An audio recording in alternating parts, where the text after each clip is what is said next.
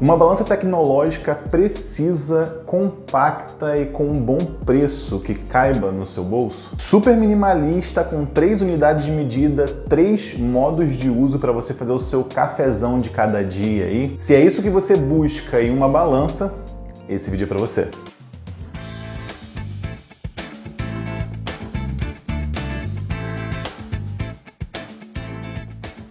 Hoje iremos destrinchar todas as funcionalidades, características e cuidados da balança de precisão para fazer café Search Pen Tiny 2S.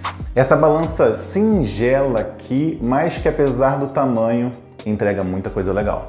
Ela tem um design super minimalista, toda preta, feita de plástico, mas de um plástico bem robusto e sem rebarbas, muito bem acabado. Ela ainda vem com esse tapete aqui de borracha que evita o contato térmico muito forte com o seu método de preparo e fiquem até o final porque tem uma informação muito importante sobre esse tapetinho aqui. E ainda possui esse símbolo da empresa bem no centro aqui, de um grãozinho de café que eu acho bem bonito por sinal. A sua base também tem uma superfície de borracha que evita que ela escorregue na sua bancada e ela é literalmente quase um quadrado, possui 10 centímetros de comprimento, 9,5 de largura e 2 centímetros de espessura. Então ela realmente cabe no bolso, não estava exagerando, mas só toma cuidado aí para não sentar em cima.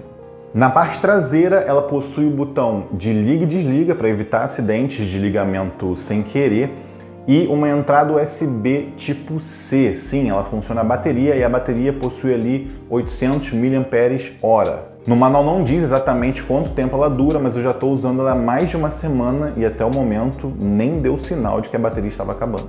Na frente, ela possui um painel de LED que quando ela está desligada, os botões ficam invisíveis.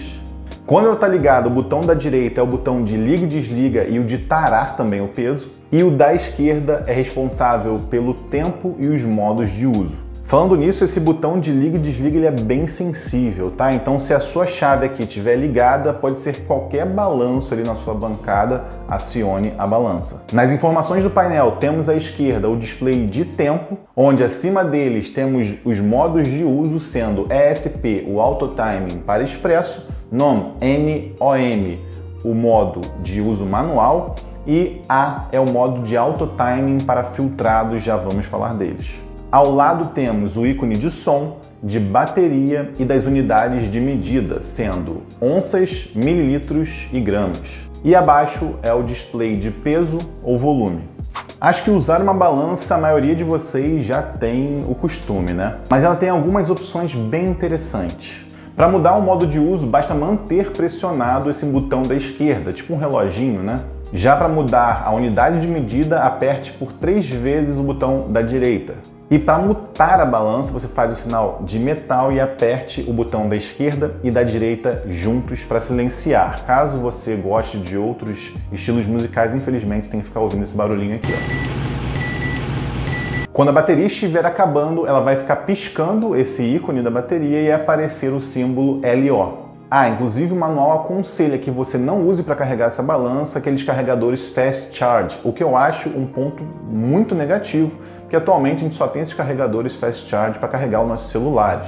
Então já fica aí essa observação também. E ela tem um desligamento automático ali após 10 minutos com ela ligada sem nenhuma alteração. Beleza, mas como funcionam os modos de uso? Galera, é bem simples, tá? Começando ali pelo Auto Timing para Expresso. Com o modo selecionado, coloque a balança na sua máquina, posicione sua xícara e a balança vai tarar automaticamente. Ligue a máquina e quando cair a primeira gota de café, o tempo irá começar sozinho. Quando acabar de cair o café, o peso e o tempo irão parar e ao retirar a sua xícara, a balança retornará ao seu estado inicial. Galera, vocês viram que ela tem um delay ali para iniciar e para encerrar o timer, só que é uma coisa que não vai atrapalhar na sua regulagem, já que a gente sabe que o tempo é apenas uma referência para o seu sabor, que é quem dita a palavra final. E o modo de uso não, como eu falei, é o uso manual dela mesmo. Então você coloca o método, tara, inicia o timer para começar o tempo ali, faz o seu café e aperta o botão do timer novamente para ele parar. Já no modo WA, que seria aquele auto timing para filtrados, eu notei alguns problemas, infelizmente. Mas vamos lá. Você irá colocar um método na balança e o café. Aperte brevemente o botão esquerdo para iniciar uma contagem regressiva.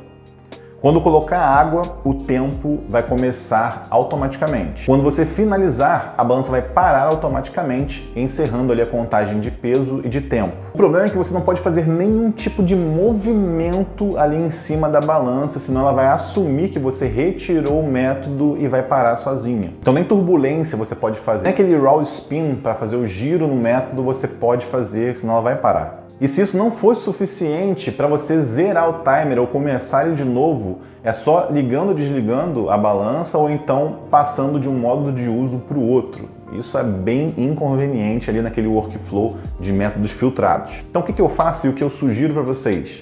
Façam no manual ou então se for fazer no automático, garantam que não vão fazer nenhum tipo de tremida, de trepidação para não se estressar. Mas no modo manual ela funciona super bem e já vai suprir esse problema que ela tem no automático. E é importante dizer também que essa balança aguenta no máximo ali 2 kg, mas eu acho que para fazer cafés isso está bem tranquilo. Né? O método mais pesado que eu tenho aqui é a Chemex e ela pesa ali em torno de 500 gramas. E o tempo máximo, como eu já falei, é de 10 minutos ali. Ela não é a prova d'água e lembra do tapetinho de borracha que eu comentei com vocês no início do vídeo?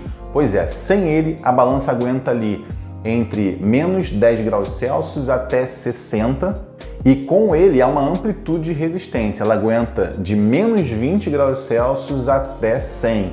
Então, para fazer café, eu sugiro que você use esse tapetinho aqui para não danificar a sua balança. Galera, e essa balança serve tanto para expresso como para filtrados, tranquilamente, na minha opinião. Mesmo a Chemex, que tem a base grande, eu consegui visualizar o display tranquilamente. E nos meus testes eu usei muitos cafés da Black Tucano Coffee Roasters. Nos expresso usei o Premium Blend, que é da embalagem preta, que eu gosto muito, e nos filtrados o Honey, que é aquele da embalagem laranja. E aqui eu tenho o Single Origin, que é um belo cafezão também. Ele tem ali as notas de melaço, uma acidez cítrica, notas também de frutas amarelas e néspera, com 87 pontos, mas é um belo café. E nessa leva que eles me mandaram, veio com a torra tão fresca que eu tive que esperar para tomar. Aqui, por exemplo, está com a torra de 4 de março, eu recebi dia 8, então esperei um pouquinho aí para ter que abrir. Então, se você quer garantir torra fresca com esses cafezões, compre no site deles e use o meu cupom PIRADOS por café.